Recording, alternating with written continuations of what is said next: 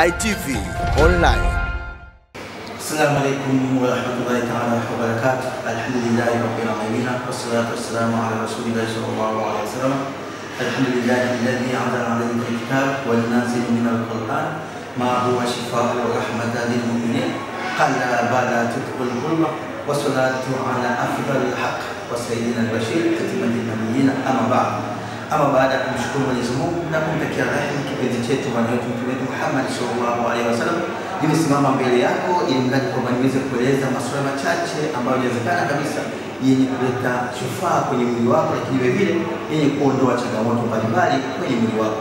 Kwa nini tunazungumza hivyo? Kazi yetu kubwa kuweza kulingania afya ya kila siku. Kwa sababu gani?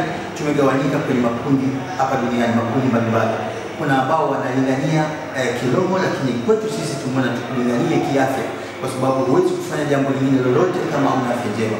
Hii leo ukiambia kufunga mwezi mtukufu Ramadhani utasema kwamba hauna afya njema, kwa sababu unasumbuliwa na vidonda vya tumbo. Lakini kuna magonjwa mengi ambayo yako kisheria yanamfanya kwamba mtu ashindwe kufunga kwa sababu tu ana afya ana afya mbovu.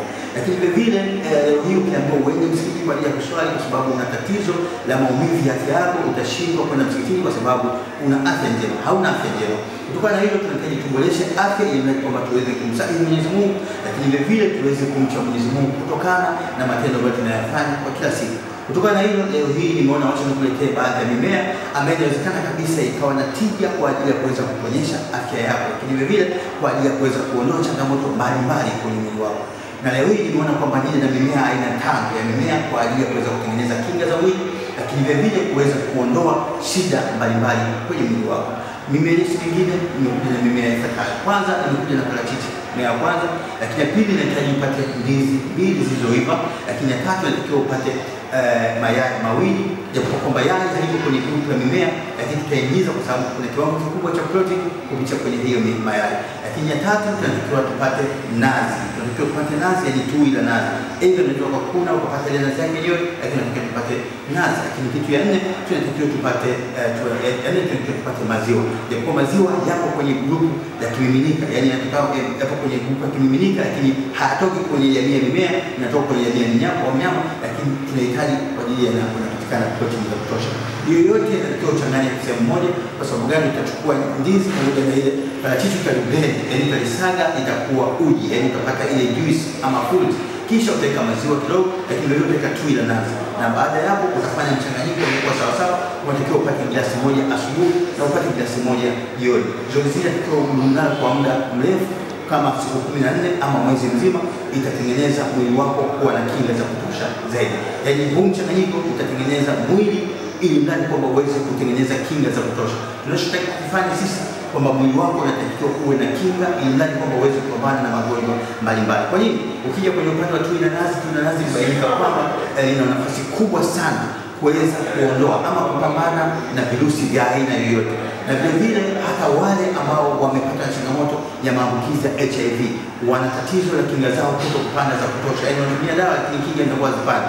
Hebu tumia huu mchanganyiko ama tumia tui la nazi kila siku, utaona kuna mabadiliko makubwa sana. Lakini vile vile tunazungumzia parachichi. Parachichi kwa sababu ndani yake unapata anti-uric acid yaani wengi ambao wenye kiwango kikubwa cha uric acid kwa wingi, ukitumia juice ya parachichi huondoa hiyo kiwango cha uric acid kwenye mwili, lakini pia ni sabuni ya walaji nyama. Yaani wale wengi ambao wanakula nyama ambao wana changamoto mbalimbali kutokana na ulaji nyama wa kutosheleza, ukitumia juice ya, ya, ya parachichi husaidia sana kuweza kuondoa kiwango cha eh, uric acid kwenye mwili na hatima yake kufanya mlaji kuwa na afya njema. Lakini vile vile tumezungumzia ndizi. Ndizi kuna fiber ambayo ndani yake unapata nyuzi nyuzi tunataka kwenye mwili wa mwanadamu kuna kitu kinaitwa muscle fiber, lakini kwenye ndizi pia unapata fiber. Hii fiber ambayo ukitumia, maana yake itakufanya wewe mlaji kuwa na nguvu za kutosha, vile vile kuwa na uwezo mkubwa mwili wako kuweza kupambana na magonjwa mbalimbali. Kwa hiyo tunachokihitaji sisi huu mchanganyiko wote, tumezungumzia mayai. Mayai yana nafasi kubwa, wale wengi yana protini nyingi,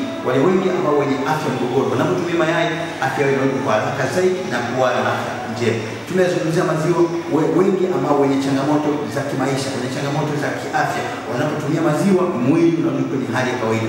Sasa tumetaka uchanganye mchanganyiko wote, ili mradi kwamba uweze kutumia kwa wakati mmoja, ili mwili uweze kuzalisha kinga za kutosha, mwili uweze kujikinga na magonjwa mbalimbali, lakini vile vile uweze kuwa na afya ya kuweza kufanya mambo mengine. Kwa hiyo ukitengeneza kwa mchanganyiko, kupata glasi moja asubuhi na glasi moja jioni kwa kipindi cha siku kumi na nne ama mwezi mzima, mwili utakunjika sana, utaondokewa na ma- ma- mavimbe kwenye mwili, utaondokewa na shida ya kukohoa, utaondokewa na shida ya kubanwa na tumbo, kubanwa mbavu, utaondokewa na shida ya pneumonia, utaondokewa na shida ya kutopata choo vizuri, utaondokewa na shida ya, ya, ya tumbo kujaa gesi. Magonjwa mengi yatatoweka kwa kupitia eh, mimea yetu, na hakika hautaweza kujutia.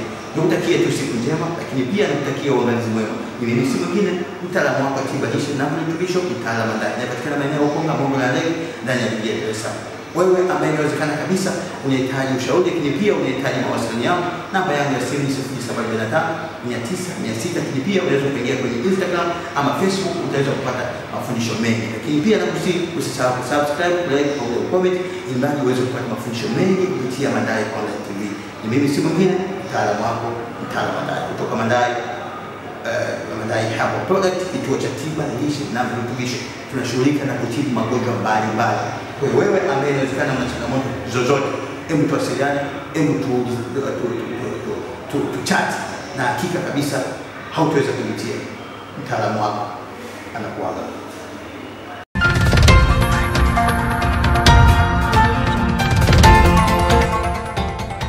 Dai TV Online. Usisahau kusubscribe, like na kucomment.